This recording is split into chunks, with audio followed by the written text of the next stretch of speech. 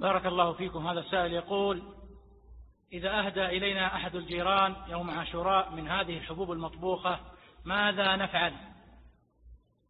سمعت في الخطبة ما يكفي يا ولدي. فلماذا؟ السؤال مرة أخرى. هذه بدعة وحرام فلا تأكلها ولا تقبلها وما يباع فيها فلا يجوز شراؤنا منه. يعني ما يباع ما يقصد بيعه في هذا اليوم يوم عاشوراء الذي تقرر أنه يوم غد إن شاء الله تعالى. بارك الله فيكم.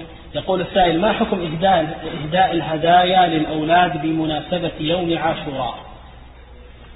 لم يصح في عاشوراء إلا الصوم فقط. وما ورد فيه من التوسعة على العيال والهدايا هذه كلها لم تصح فيها سنة عن النبي صلى الله عليه وسلم. فإذا هي من البدع والمحدثات. نعم.